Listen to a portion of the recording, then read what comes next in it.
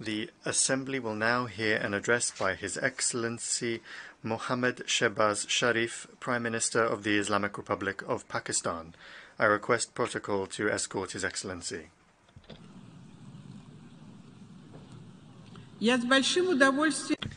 I have great pleasure in welcoming His Excellency Muhammad Shehbaz Sharif, Prime Minister of the Islamic Republic of Pakistan. I invite him to address the Assembly. بسم الله الرحمن الرحيم قل يا عبادي الذين أسرفوا قل يا عبادي الذين أسرفوا لا تقنطوا من رحمة الله إن الله يغفر ذنوبا جميعا Mr. President, Excellencies, distinguished delegates, As I stand here today to tell the story of my country, Pakistan, my heart and mind have not been able to leave home. Standing here, I still feel that I am visiting one of the flood affected areas of Sindh and Balochistan of my country. No words can describe the shock we are living through or how the face of the country lies transformed. I have come to explain firsthand the scale and magnitude of this climate catastrophe that has pushed one third of my country underwater in a superstorm that no one has seen in one's living memory. For 40 days and 40 nights, a biblical flood poured down on us, smashing centuries of weather records, challenging everything we knew about disaster and how to manage it. Even today, huge swaths of the country are still underwater, submerged in an ocean of human suffering. In this ground zero of climate change, 33 million people, including women and children, are now at high risk from health hazards. With 650,000 women giving birth in makeshift tarpaulins, more than 1,500 of my people have been gone from this world in this great flood, including over 400 million, over 400 children. Far more are in peril from disease and malnutrition.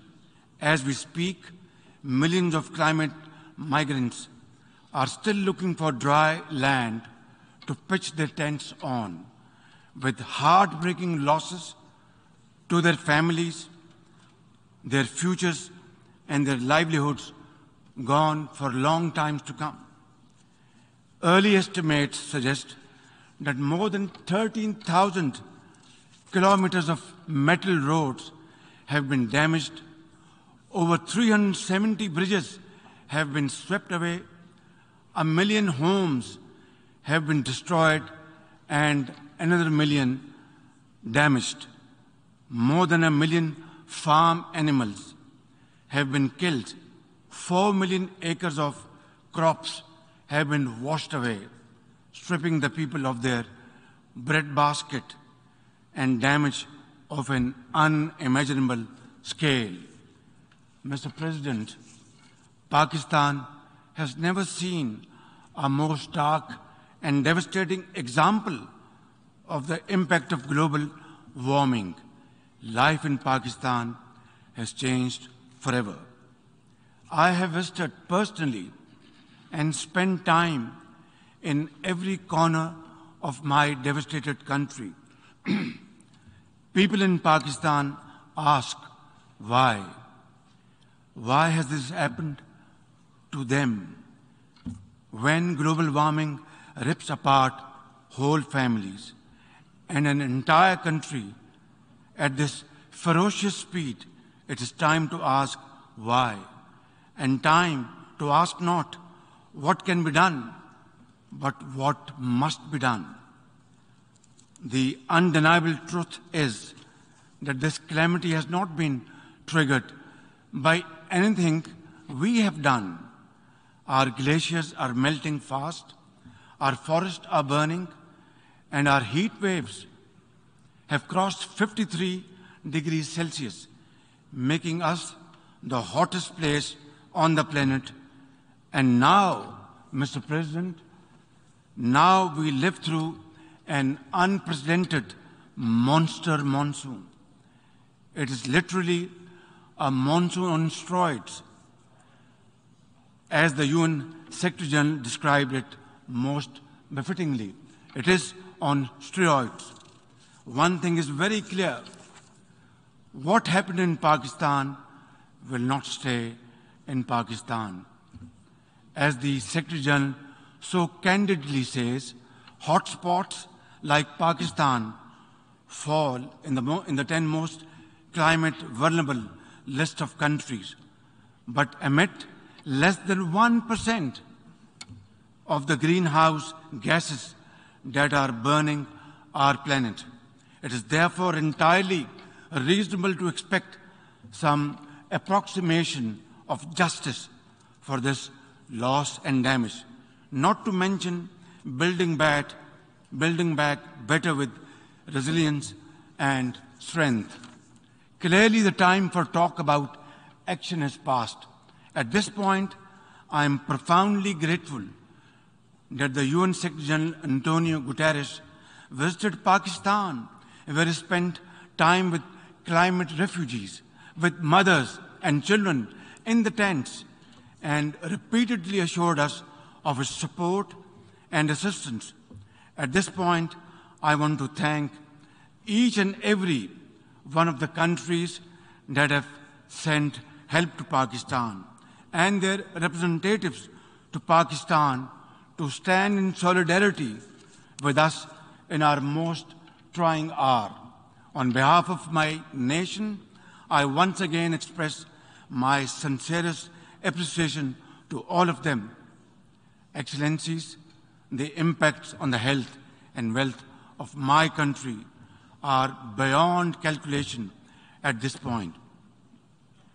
So, my real worry is about the next stage of this challenge when the cameras would have gone or left this August assembly and the story just shifts away to conflicts like the Ukraine, my question is will we be left alone, high and dry, to cope with a crisis which we did not create, not of our doing?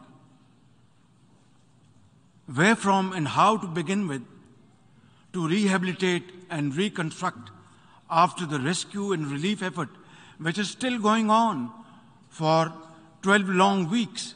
For many of the lives we have saved, the future is dimmed by new fragility, lost homes, decimated livelihoods, deluged croplands, permanent food insecurity, and exposure to uncertain futures. Some 11 million people will be pushed further below the poverty line, while others will drift to cramped urban shelters, leaving little room for climate smart rebuilding. Mr. President, for now, we have mobilized all available resources at our domain, squeezing resources from left and right towards the national relief effort and repurposed all budget priorities, including development funds, to the rescue and first order needs of millions, cash transfers to the most affected 4 million women, heads of household, had begun weeks ago via our social security program, the Benazir Income Support Program. It has been established in the name of former late Prime Minister Benazir Bhutto and her son is our foreign minister today. 70 billion rupees, or almost $300 million from our own pocket, we, have, we are spending on this program. But at this point, the gap between our urgent needs and available resources is increasing by the day and amplified by the sheer unprecedented scale of this disaster. Our manpower and resources are totally overwhelmed and overstretched. The question to raise here is quite simple. Why are my people paying the price of such high global warming through no fault of ours? We have no contribution in this. Nature has unleashed her fury on Pakistan without looking into at our carbon footprint, which is next to nothing. Our actions did not contribute to this. The dual cost of global inaction and climate injustice are having a crippling effect on both our treasury and our people right here, right now, over there. Mr. President, this is going to be a long haul, and under these most trying circumstances, hope is the best enemy of darkness. And Pakistanis are known to be exceptionally resilient people. For my part, I am fully committed, fully geared to fighting this battle for our survival in the tents, in the trenches with my people until we have rebuilt Pakistan to face the growing challenges of this century. It is high time we took a pause from the preoccupations of the 20th century to return to the challenges of the 21st century. The entire definition of national security has changed today. And unless the leaders of the world come together to act and act now on an agreed common agenda, there will be no earth to fight wars over. Nature will be fighting back, and for that, humanity is no match at all. Mr. President, Pakistan's urgent priority right now is to ensure rapid economic growth and left millions out of poverty and hunger. To enable any such policy momentum, Pakistan needs a stable external environment. We look for peace with all our neighbors, including India. Sustainable peace and stability in South Asia, however, remains contingent upon a just and lasting solution of the Jammu and Kashmir dispute. At the heart of this long-standing dispute lies the denial of the inalienable right of the Kashmiri people to self-determination. India's illegal and unilateral actions of 5th August 2019 to change the internationally recognized disputed status of Jammu and Kashmir and to alter the demographic structure of the occupied territory further undermined the prospects of peace and inflamed regional tensions. India's ruthless campaign of repression against Kashmiris has continued to grow in scale and intensity. In pursuit of this heinous goal, New Delhi has ramped up its military deployments in occupied Jammu and Kashmir to 900,000 troops, thus making it the most, the most militarized zone in the world. The serial brutalization of Kashmiris takes many forms extrajudicial killings, incarceration, custodial torture and death, indiscriminate use of force, deliberate targeting of Kashmiri youth with pellet guns, and collective punishments imposed on entire communities. In a classic settler colonial project, India is seeking to turn the Muslim majority Jammu and Kashmir into a Hindu territory through illegal demographic changes millions of fake domicile certificates have been issued to non-Kashmiris. Kashmiri land and properties are being seized. Electoral districts have been gerrymandered and over two and a half million non-Kashmiri illegal voters fraudulently registered. All this is in blatant violation of Security Council's resolutions and international law, particularly the Fourth Geneva Convention. For our part, the Pakistani people have always stood by our Kashmiri brothers and sisters in complete solidarity and will continue to do so no matter what until their right to self-determination is fully realized in accordance with the relevant UN Security Council resolutions.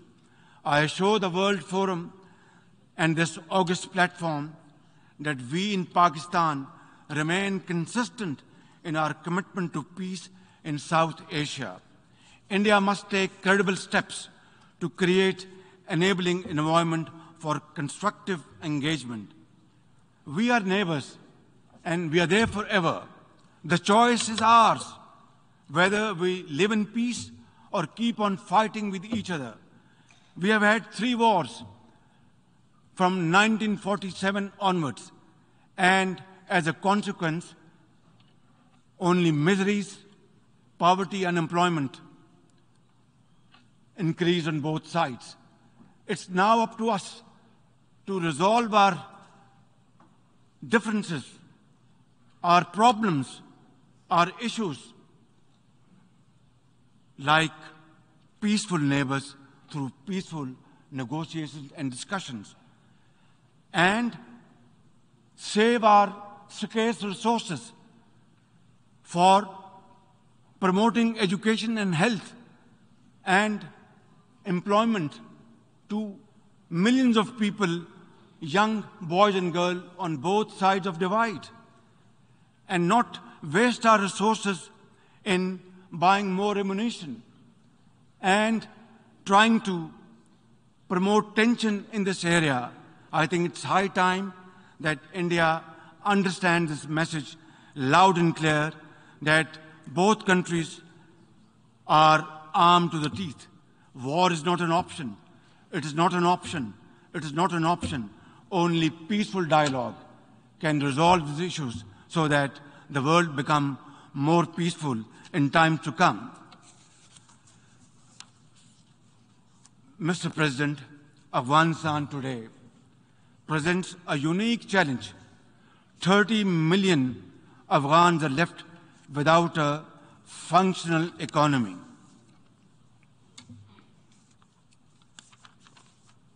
And banking system that allows ordinary Afghans to make a living, to be able to build a better future. Pakistan would also like to see Afghanistan, which is at peace with itself and the world, and which respects and nurtures all its citizens without regard to gender, ethnicity, and religion. Pakistan is working to encourage respect for the rights of Afghan girls and women to education and work. Yet, it is this point, at this point, isolating the Afghan interim government could aggravate the suffering of the Afghan people who are already destitute. Constructive engagement and economic support are more likely to secure a positive response. A peaceful, prosperous, and connected Afghanistan in our collective interest as a neighbor, Pakistan is a vital stake in peace and stability in Afghanistan. We have led the humanitarian efforts to help our Afghan brothers and sisters. We must avoid another civil war, rising terrorism, drug trafficking, or new refugees, which none of Afghanistan's neighbors are in a position to accommodate.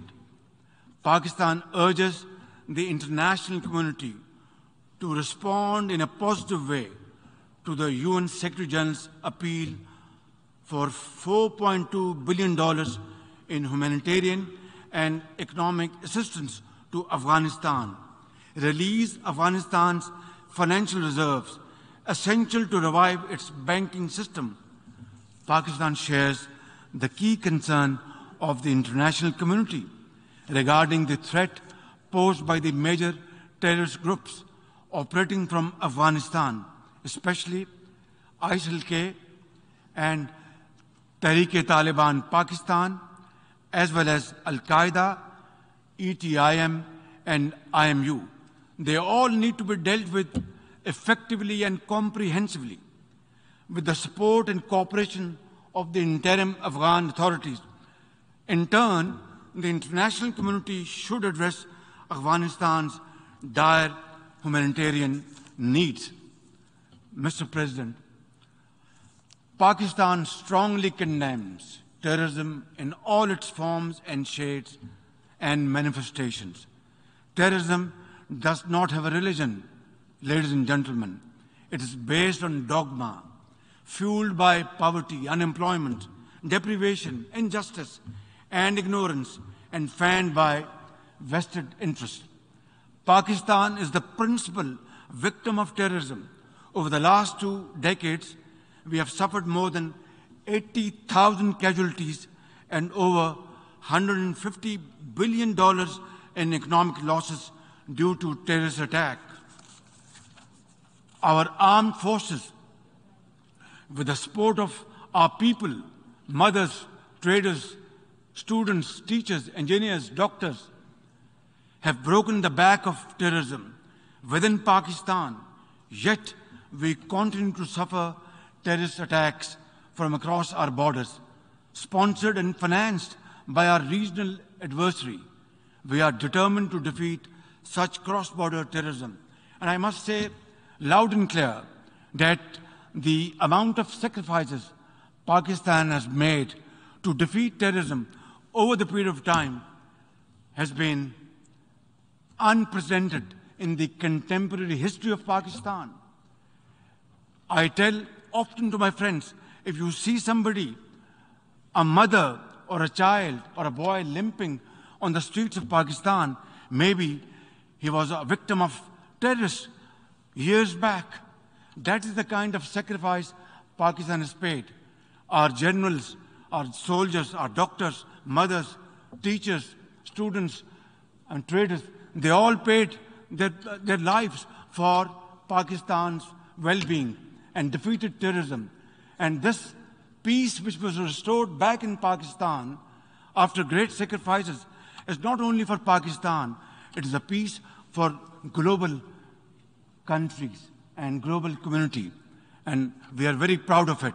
And this is the biggest manifestation of our commitment, our concern, and our continued efforts to defeat terrorism wherever it is. Mr. President, Islamophobia is a global phenomenon. Since 9-11, suspicion and fear of Muslims and discrimination against them have escalated to epidemic proportions. The officially sponsored campaign of oppression against India's over 200 million Muslims is the worst manifestation of Islamophobia.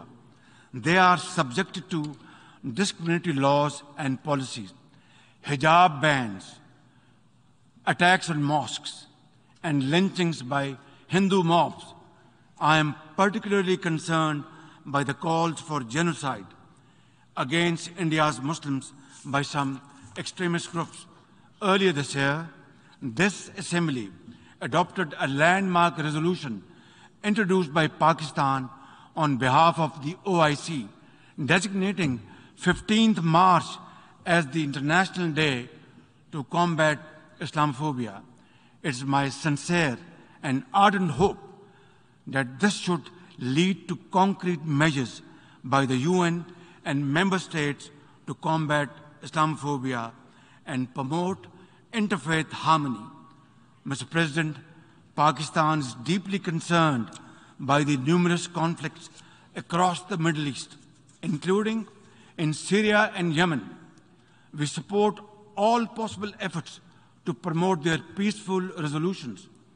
We call on Israel to put an immediate end to the blatant use of force and flagrant violations of human rights of the Palestinian people and the repeated desecration of the holy Al-Aqsa Mosque.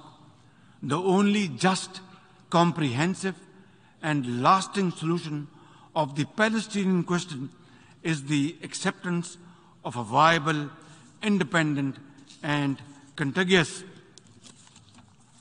Palestinian state with the pre-1967 borders and Al-Quds Al-Sharif as its capital.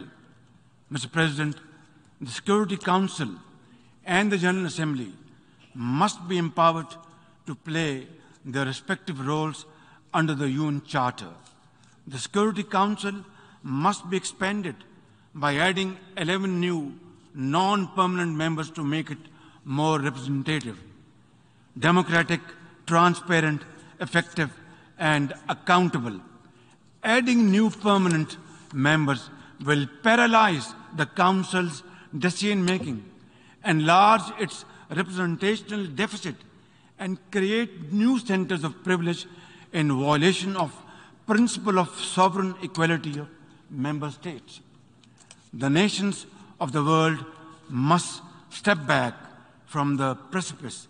We must restore peace in Europe, avoid a war in Asia, and resolve festering conflicts across the world. We must revive the vision which created the United Nations, a vision which is often blurred by national interest and hegemonic designs. Pakistan is a partner for peace.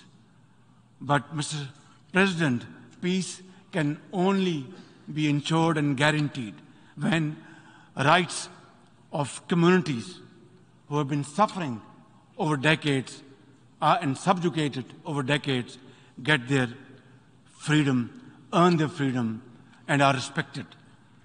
In this behalf, before I conclude, Mr. President, I would once again repeat at the cost of repetition that we want to have peace with India, but long lasting, enduring peace can only be ensured and guaranteed through a just and fair solution of Kashmir, providing a rights to the people of Kashmir under UN Charter according to Security Council resolutions, the right of self-determination, and I will be most forthcoming to sit down then and talk to our Indian counterparts to pave the way forward for future so that our generations do not suffer, so that we spend our resources on mitigating miseries,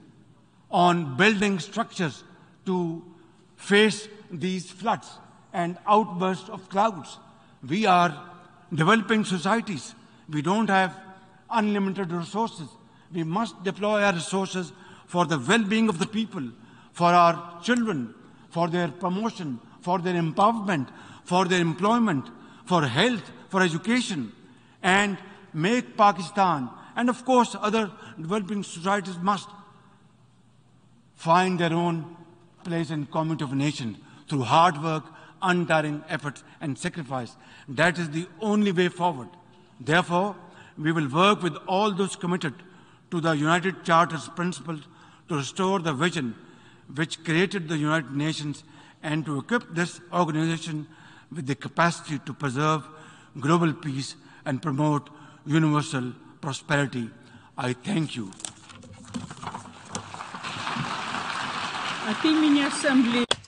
On behalf of the Assembly, I wish to thank the Prime Minister of the Islamic Republic of Pakistan for the statement just made and I request protocol to escort His Excellency.